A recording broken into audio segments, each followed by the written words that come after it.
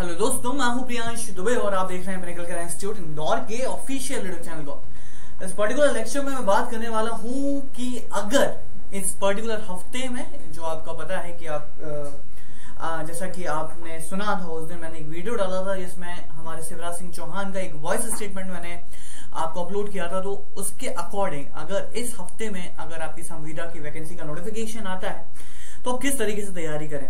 हालाँकि अगर आप देखा जाए तो वीडियो और वीडियो में मैंने आपको जो बताया था, उसके अकॉर्डिंग अप्रैल के लास्ट हफ़्ते की बात करी गई थी और अप्रैल का लास्ट हफ़्ता स्टार्ट हो चुका है। अब देखना ये बात है कि एक्चुअल में किस डेट को नोटिफिकेशन आता है और नोटिफिकेशन आने में अभी आ जाता है या थोड़ा टाइम और लगता है, लेकिन ये बात तो फिक्स है कि वैकेंसी तो डेफिनेटली आपके सामने आने वाली है। लेकिन एक चीज़ मैं आपको बता दूँ कि इस बार जो आपकी वैकेंसी आ रही है, वो आपकी संविदा वैकेंसी नहीं आ रही है। जी आश्चर्य में नहीं जाइएगा संविदा साल शिक्षक परीक्षा इस बार नहीं होने वाली है।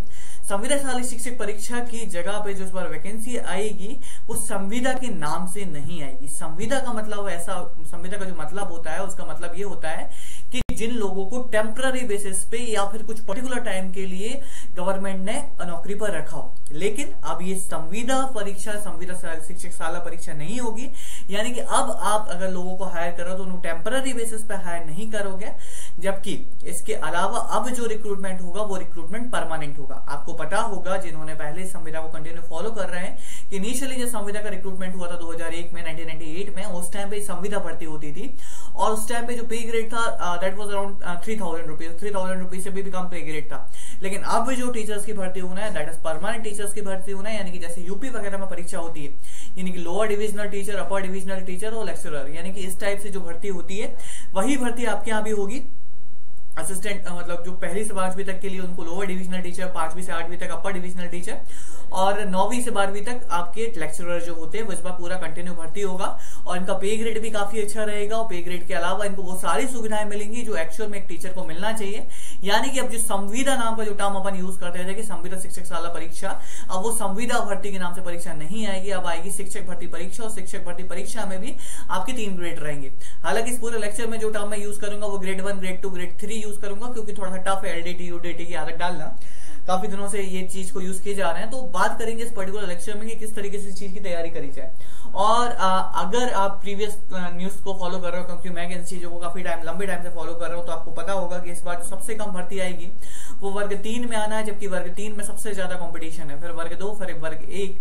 और अगर पहले एग्ज़ाम की बात करी जाए तो उम्मीद करी जा रही है कि वर्ग एक का एग्जामिनेशन सबसे पहले आएगा। सबसे छोटा एग्जामिनेशन स्लॉट वर्ग एक का होगा क्योंकि वर्ग एक में उम्मीदवार कम रहेंगे। वर्ग एक में उम्मीदवार इसलिए भी कम रहेंगे, क्योंकि यहाँ पे हायर एजुकेशन क्वालिफिकेशन चाहिए पड़ेगी। हालाँकि एजुकेशन क्वालिफिकेशन सारे सिलेबस के डिटेल में नहीं जाएँगे, सिर्फ़ और सिर्फ़ हम उस वे की बात करेंगे, उस तरीके की बात करेंगे किस तरीके से चीज़ें कंप्लीट करना है। तो आइए स्टार्ट करते हैं और स्टार्ट अगर हम करें तो हम बात करेंगे वर्ग तीन की, और फिर वर्ग दो की बात करेंगे। वर्ग एक के बारे में मैं ज़्यादा बात नहीं करूँगा, क्योंकि वर्ग एक के बारे में अगर मैं बोलूँ तो वर्ग एक के लिए आपको ग्रेजुएशन लेवल की तैयारी पूरी की पूरी कंप्लीट करना पड़ेगी। यानी कि ग्रेजुएशन लेवल पे जो आपने सब्जेक्ट्स लिए थे मतलब ओवरऑल जो सब्जेक्ट में आपके स्पेशलाइजेशन है, वो सब्जेक्ट एटलीस्ट आपको तैयार करके रखना पड़ेंगे। तब जाके ग्रेड वन की तैयारी या फिर ग्रेड वन का एग्ज़ाम क्लियर होगा। और पर्टिकुलरली अगर मैं बात करूँ कि संविदा ग्रेड वन का जो एग्जामिनेशन होता है, इसका लेवल अगर आपने नहीं देखा हो तो एक बार आप इसका लेवल चेक करिए कि आ, मतलब संविदा ग्रेड वन का जो सब्जेक्टिव पेपर आता है यानी कि जो आपके थ्योरी पेपर आता है उसका लेवल काफ़ी अच्छा लेवल होता है तो वहाँ पे आपको एक्चुअल में ग्रेजुएशन लेवल की तैयारी करके रखना पड़ेगी। क्योंकि वहाँ पे जो क्वेश्चन आएँगे वो आपको एक्चुअल में ग्रेजुएशन लेवल के क्वेश्चन फेस करना पड़ेंगे। पर्टिकुलरली अभी मैं बात करूँगा कि ग्रेड थ्री और ग्रेड टू के जो लोग तैयारी कर रहे हैं यानी कि मैक्सिमम लोग ग्रेड टू और ग्रेड थ्री वाले हैं तो उन लोगों के लिए तैयारी में क्या करना चाहिए? सबसे पहले हम बात करते हैं ग्रेड थ्री की। तो ग्रेड थ्री की अगर हम बात करी जाए तो ग्रेड थ्री में जैसा कि आपको पता है कि ग्रेड थ्री में जो बेसिक से सब्जेक्ट होते हैं, वो होता है बाल विकास। और शिक्षा शास्त्र इसके अलावा एक होता है पर्यावरण। इसके अलावा एक होता है इंग्लिश हिंदी और मैथ्स अब अगर संविदा शिक्षक वर्ग ग्रेड थ्री की तैयारी कर रहे हो। तो एक चीज़ मैं आपको बहुत अच्छे से क्लैरिफाई कर दूँ कि ये जो बाल विकास और शिक्षा शास्त्र वाला सब्जेक्ट है, ये टीचिंग के लिए बहुत इंपॉर्टेंट है। यानी कि अगर आपको टीचिंग करना है तो ये सब्जेक्ट लगभग लगभग ऑलमोस्ट किसी भी स्टेट में टीईटी का एग्जामिनेशन होता है, यानी कि टीचर्स एलिजिबिलिटी टेस्ट मतलब ओवरऑल अगर बात करी जाए तो टीईटी का जो एग्जामिनेशन होता है आ, किसी भी स्टेट में चाहे वो यूपी टीईटी हो चाहे वो सी टीईटी हो छत्तीसगढ़ टीईटी का जो एग्जामिनेशन होता है या फिर अगर आगरा वगैरह साइड की बात करी जाए तो जहाँ या फिर रीट का एग्जामिनेशन हो आर डबल जो होता है राजस्थान बोर्ड में यानी कि अभी जिसका प्रोसेसर चल रहा है तो कोई भी एग्ज़ाम हो उसमें किसी भी एग्जामिनेशन में ये सब्जेक्ट बहुत कंपलसरी होता है। तो ये सब्जेक्ट तो डेफिनेटली आने ही आने वाला है। इसके अलावा इंग्लिश हिंदी और मैथ्स की तैयारी आपको करना ही पड़ेगी क्योंकि आपको बेसिक अंडरस्टैंडिंग सारे के सारे सब्जेक्ट्स की होना चाहिए। क्योंकि जो ग्रेड थ्री का पेपर होता है, वो क्लास फिफ्थ तक होता है। तो जब फ़र्स्ट से लेकर आप फिफ्थ क्लास तक को पढ़ाते हो तो वहाँ पे कोई डिस्टिंग नहीं किया जाता कि आप साइंस बैकग्राउंड के तो आप साइंस ही पढ़ाओगे, आप मैथ्स बैकग्राउंड के तो आप मैथ ही पढ़ाओगे। आपसे उम्मीद करी जाती है कि आप सारे के सारे सब्जेक्ट्स में निपुण होगे आप सारे के सारे सब्जेक्ट पढ़ा सकते हो। और मध्य प्रदेश गवर्नमेंट की मैं बात करूँ तो मध्य प्रदेश गवर्नमेंट में पर्यावरण का सब्जेक्ट चलता है, जिसे हम सोशल साइंस जो हम आगे चल के पढ़ते हैं। तो मध्य प्रदेश गवर्नमेंट में पर्यावरण का सब्जेक्ट चलता है, जो आगे चल के सोशल साइंस में कन्वर्ट हो जाता है। और इसके अलावा कुछ लोग ऐसे भी होंगे जो संस्कृत या उर्दू की तैयारी कर रहे होंगे तो संस्कृत या उर्दू वाले सब्जेक्ट वाले जो भी हैं, उन्हें अपना सब्जेक्ट तैयार करना है। संस्कृत, यानी जो संस्कृत लैंग्वेज को लेंगे या फिर उर्दू लैंग्वेज को जो लेंगे। उन्हें अपना सब्जेक्ट तैयार करके रखना है। यानी कि बेसिक लेवल पे ये सब्जेक्ट्स चेंज होने का जो पूरा का पूरा सिनेरियो है आ, मतलब उम्मीद है ये काफ़ी ज़्यादा कम है। यानी कि इंग्लिश हिंदी और मैथ्स ये सब्जेक्ट तो आना ही है। बाल विकास भी 101 परसेंट आएगा ही क्योंकि बाकी सारे स्टेट्स भी इस एग्जामिनेशन को जो रेगुलर बेसिस पे कंडक्ट कर रहे हैं यानी कि हर साल जो कंडक्ट कर रहे हैं उनके सिलेबस का ये पार्ट है बाल विकास और शिक्षा शास्त्र। यानी कि आपके एग्जामिनेशन में ये पार्ट डेफिनेटली आएगा। हो सकता है कि कुछ सिलेबस एक्स्ट्रा इंक्लूड किया जाए वो हम नोटिफिकेशन के बाद तैयार कर लेंगे। लेकिन इन सब्जेक्टों पे हमें पकड़ बना के रखना पड़ेगी। और अगर आप ऐसा नहीं करोगे तो आप खुद को बहुत बड़ा धोखा दे रहे हो। और आ, ऐसा अगर आप वेट कर रहे हो नोटिफिकेशन आएगा नोटिफिकेशन के बारे में बता दूँ सबसे लंबा जो एग्ज़ाम स्लॉट चलेगा ग्रेड थ्री का चलेगा। फिर उसके बाद जो सेकंड नंबर पे स्लॉट चलेगा वो ग्रेड टू का चलेगा। और ग्रेड वन वाला सबसे छोटा स्लॉट होगा यानी कि हो सकता है कि एक दिन में पूरा का पूरा एग्जामिनेशन कंडक्ट हो। तो यहाँ पे अगर आप ग्रेड थ्री के बारे में सोच रहे हो तो यहाँ पे जैसे ही नोटिफिकेशन आएगा नोटिफिकेशन के विद इन अ मंथ यानी कि एक महीने के स्पैन में आपको पूरे के पूरे पाँच सब्जेक्ट तैयार करना पड़ेंगे। इसलिए आप इसे बेसिक लेवल पे आप अभी तैयार कर सकते हो। बेसिक लेवल पे किस तरीके से तैयार करना है, मैं आपको बता देता हूँ कि इंग्लिश हिंदी और मैथ्स यहाँ पे दसवीं क्लास तक का इंग्लिश दसवीं क्लास तक की हिंदी और दसवीं क्लास तक का मैथ्स आप चाहो तो एमपी बोर्ड की बुक से पढ़ लो, चाहे तो आप सीबीएसई बोर्ड की बुक से पढ़ लो, सिर्फ़ स्कूल की बुक से काम चल जाएगा। मान लीजिए मेरी बात, अगर आप इंग्लिश हिंदी और मैथ्स तैयार करना चाहते हो, सिर्फ़ आप स्कूल की बुक्स भी पढ़ लोगे तो आप आराम से काम कर सकते हो इंग्लिश और हिंदी में। मोस्टली जो पूरे का पूरा पैटर्न है, वो कंप्रहेंशन पैटर्न है यानी कि वहाँ पे आपको पैराग्राफ बेस दिए जाएँगे क्वेश्चन उसके बाद, उसके अलावा बाकी के, बाकी सारे क्वेश्चन रहेंगे ग्रामर बेस्ड तो पैराग्राफ बेस्ड ग्रामर बेस्ड यानी कि कंप्रहेंशन बेस्ड ये दोनों के दोनों इंग्लिश और हिंदी वाले सब्जेक्ट आने वाले हैं। बाल विकास और शिक्षा शास्त्र का मैं रेगुलर बेसिस पे कवर कर रहा हूँ। और इसके अलावा जो थ्योरी वाले लेक्चर्स की ज़रूरत पड़ेगी, वो अपकमिंग डेज़ में आने वाले हैं। अगर बात करें मैथ्स की तो दसवीं क्लास तक की मैथ्स काफ़ी अच्छे से कर लीजिए। ये आपके लिए बहुत इंपॉर्टेंट साबित होगी और ये आपको करना ही पड़ेगी अगर इस एग्ज़ाम को आप क्लियर करना चाहते हो। एक महीने का टाइम बचाओ, दो महीने का टाइम बचाओ, तीन महीने का टाइम बचाओ, इन पाँच सब्जेक्ट पे इतनी अच्छी पकड़ बना लीजिए। और यहाँ पे अगर आपने पकड़ बना ली तो हंड्रेड परसेंट आपका एग्जामिनेशन निकलने वाला है। कोई तीसरी बुक रेफर करने की ज़रूरत नहीं है, सिर्फ़ और सिर्फ़ स्कूल लेवल पे जो बुक्स चल रही है, सिर्फ़ आप उनको भी पढ़ लोगे ना तो आराम से आपका एग्जामिनेशन निकल जाएगा। बाल विकास के लिए मैं बता दूँ, बाल विकास के लिए बहुत सारे लोग सोच रहे होंगे कि बाल विकास के लिए कौन सी बुक रेफर करना है। देखिए यूपी टीईटी लेवल पे यूपी टीईटी लेवल पे या फिर आप टीईटी लेवल की अगर बात करी जाए तो टीईटी लेवल पे बाल विकास के बहुत सारे पब्लिकेशंस पे अपनी बुक निकाल के रखी है। तो अगर आप कहीं पे भी किसी भी शॉप पे जाओ, वहाँ पे सिर्फ़ आप इतना बोल दो कि मुझे बाल विकास और शिक्षा शास्त्र की एक अच्छी सी बुक चाहिए तो चाहे वो यूपी टीईटी की बुक हो आर डबल की बुक हो रीड की बुक हो, या सी टीईटी की बुक हो, वो आपको एक बाल विकास की बुक दे देगा। आप चाहो तो उसका पूरा का पूरा अध्ययन कर सकते हो, वहाँ से इस टॉपिक को कंप्लीट कर सकते हो। तो ग्रेड थ्री के लिए बाकी कुछ एडिशनल पढ़ने की ज़रूरत नहीं है पर्यावरण के लिए मैं बता दूँ जो आपका बेसिक सोशल स्टडीज़ वाला पार्ट है मेनली ज्योग्राफी और आसपास का एनवायरमेंट ये सारी की सारी चीज़ें आप बहुत अच्छे से कवर कर सकते हो अगर आप एनसीआर की बुक को रेफर करोगे एनसीआर की बुक को अगर आप रेफर करना चाहते हो तो उसके लिए भी आप एनसीआर का ऐप यूज़ कर सकते हो।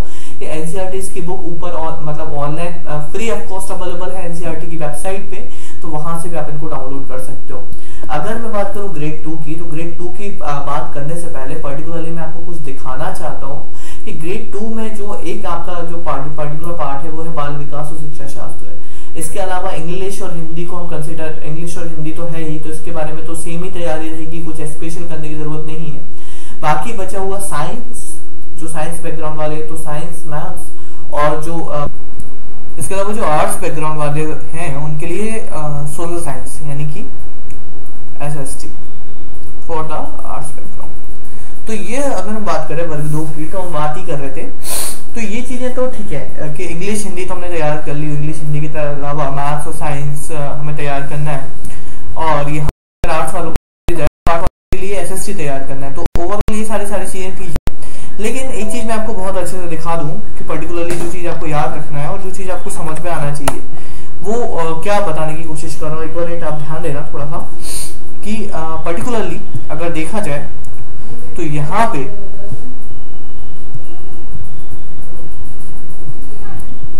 आप अगर देखें तो ये आपके सामने साइंस और मैथ्स का जो एक्चुअल में यूपी में जो पेपर हुआ था ये आपके सामने दिखाई दे रहा है। और इस पेपर पे अगर आप एक बार नज़र डालें तो आपको दिख रहा होगा ये चीज़ क्लियरली कि जो पूरे के पूरे क्वेश्चन आ रहे हैं क्वेश्चन को अगर आप ध्यान दें, चुंबकीय क्वांटम संख्या निर्धारित करते हैं magnetic quantum number scurvy is cause due to which one is a weak acid which scientist was developed by key for identification of elements seedless fruit, are of use, या फिर silk is obtained from which state of silk bomb और वाइबरपेरी और ये H ये सारे के सारे down syndrome ये सारे के सारे क्वेश्चन कहाँ के ये क्वेश्चन अगर मेनली बात करी जाए तो ट्वेल्थ तक के स्टैंडर्ड के सारे के सारे क्वेश्चन है। और अगर हम बात करें, चलो थोड़ा सा मैथ्स के ऊपर, ये आखिर जो न्यूमेरिकल और ये रिलेशन ये सारा का सारा मैक्सिमम अगर एट मैक्स भी हम बात करें तो भी ट्वेल्थ स्टैंडर्ड तक की सारी की सारी चीज़ें हैं। अगर हम थोड़ा मैथ्स की तरफ़ चले तो मैथ्स में आपके सामने एजेस आ गए एरिया आ गया एक्स एक्स टू पावर आ गया एक्सपोनेंशियल क्वेश्चन आ गया फैक्टर्स आ गए, गुणनखंड आ गए समानता चतुर्भुज आ गया तो ये सारे के सारे जो क्वेश्चन है ट्वेल्थ तक के लेवल के हैं। तो यहाँ पे एक चीज़ समझना पड़ेगी कि जो पूरा का पूरा पेपर आ रहा है पेपर का जो लेवल है it is up to the twelfth standard ये मैं वर्ग दो के बारे में बता रहा हूँ कि वर्ग दो के जो पेपर का लेवल आता है ट्वेल्थ स्टैंडर्ड तक के क्वेश्चन आते हैं। और अगर आपके ट्वेल्थ स्टैंडर्ड तक के क्वेश्चन अगर आप अच्छे से करना चाहते हो तो आपको ट्वेल्थ स्टैंडर्ड तक के अपने बुक्स पूरी की पूरी कवर होना चाहिए और उसके बाद ही आप ट्वेल्थ स्टैंडर्ड तक के क्वेश्चन कर सकते हो। तो इंपॉर्टेंट थिंग ये है कि आपको पता होना चाहिए कि आपको कौन से लेवल के क्वेश्चन आपको फेस करने वाले हो और वही आपको उसी टाइप के क्वेश्चन आपको तैयार करना है। तो ये आपको एक बेसिक आइडिया ये चीज़ का दे देता है। अगर आप देखा जाए तो बेसिक आइडिया आपको इस चीज़ का मिल जाएगा कि आपको तैयारी कहाँ पे करना है, तैयारी आपको किस तरीके से करना है। तो अगर आप पेपर को एक बार ध्यान से देखें और इस टाइप के पेपर आप से डाउनलोड कर सकते हैं तो इन पेपर्स को अगर आप ध्यान दें पेपर्स पे तो ये पूरे का पूरा पैटर्न जो है ये ट्वेल्थ स्टैंडर्ड तक का है। तो अगर ग्रेड टू की बात करी जाए तो यहाँ पे आपको टेंथ की जगह ट्वेल्थ स्टैंडर्ड तक सारी की सारी चीज़ें तैयार करना है। और अगर आपने ट्वेल्थ स्टैंडर्ड तक तैयार कर ली बारहवीं क्लास तक की अगर आपने चीज़ें तैयार कर ली तो definitely you're going to succeed in this examination तो यानी कि आपको इलेवंथ टू ट्वेल्थ क्लास की बुक भी पूरी की पूरी कवर करना पड़ेगी। इलेवंथ ट्वेल्थ जो साइंस वाले हैं, उनको तो ओवरऑल आपको एक बात समझ में आ गई होगी कि साइंस या फिर अगर आप किसी भी बैकग्राउंड को बिलोंग कर रहे हो तो आपको ट्वेल्थ स्टैंडर्ड तक की सारी चीज़ें कंप्लीट करना पड़ेंगे। अब अगर आपको ट्वेल्थ स्टैंडर्ड तक की सारी चीज़ें कंप्लीट करना है तो इसके लिए स्टैंडर्ड जो सोर्स होता है, वो होता है आपका एनसीआरटी मैं आपको पहले भी बता चुका हूँ एनसीआरटी में बहुत ज़्यादा प्रेफरेंस देता हूँ, क्योंकि ये मुझे किताब पे बहुत भरोसा है और ये पर्सनल एक्सपीरियंस से बता रहा हूँ कि किताब बहुत अच्छी होती है और अगर आप चाहते हो ट्वेल्थ तक आप चीज़ों को कंप्लीट कर सको तो आप इस चीज़ को रेफर कर सकते हो, बाकी बाल विकास और जो कॉमन सब्जेक्ट्स हैं, उनके लिए मैं किताबें आपको पहले भी बता चुका हूँ। लेकिन सिर्फ़ तो बात इतनी सी है कि आपने पेपर का लेवल देखा पेपर का level it's like twelfth class तक के लेवल का पेपर आएगा और आपको अगर जो एजुकेशन क्वालिफिकेशन मांगी है, वर्ग दो में दैट इज़ ग्रेजुएशन यानी कि ग्रेजुएशन होके आपको ट्वेल्थ क्लास तक अगर आप ग्रेजुएट हो तो आप ट्वेल्थ क्लास तक को पढ़ा सकते हो। तो उम्मीद भी आपसे क्वेश्चन भी उसी टाइप से करे जाएँगे और आप बिलीव मानिए शीश को कि इस बार एग्जामिनेशन टफ होने वाला है। और वर्ग दो और वर्ग तीन, और चाहो तो वर्ग एक वर्ग एक का एग्ज़ाम तो एक्सट्रीमली टफ होता है क्योंकि उसमें ग्रेजुएशन लेवल की चीज़ें आपसे पूछी जाती हैं। और लेकिन अगर आप इसमें देखें तो यहाँ पे भी आपको सिंस अगर वर्ग दो की बात करिए तो वर्ग दो वाले जो लोग रहते हैं, छठवीं से आठवीं क्लास तक के को पढ़ाते हैं। लेकिन उनसे भी जो चीज़ें पूछी जाएँगी, वो ट्वेल्थ क्लास तक की पूछी जाएँगी। तो आपको इस तरीके से तैयारी करके चलना है कि आप आराम से इन चीज़ों को मैनेज कर सको। अगर अभी से देखा जाए तो आपके पास टाइम काफ़ी कम बचा है और अगर टाइम कम नहीं भी बचा है, आपके पास मान लो एक महीने का टाइम भी बचा है तो भी आपको एक पर्टिकुलर पैटर्न में तैयारी करना पड़ेगी ताकि आप सिलेबस को कंप्लीट कर पाओ। तो इस वे में अगर आप एक ऑर्गेनाइज वे में चीज़ों को तैयार करोगे, आप एक सैंपल पेपर चाहो तो डाउनलोड कर लीजिए। आरईडी के पेपर आप डाउनलोड कर सकते हो यूपीटीईटी के पेपर डाउनलोड कर सकते हो। और इस तरीके से अगर आप तैयारी करोगे तो आप डेफिनेटली सक्सेड सक्सेड हो जाओगे। तो मिलता हूँ मैं आपसे अगले लेक्चर में, तब तक के लिए stay tuned take care and have a nice day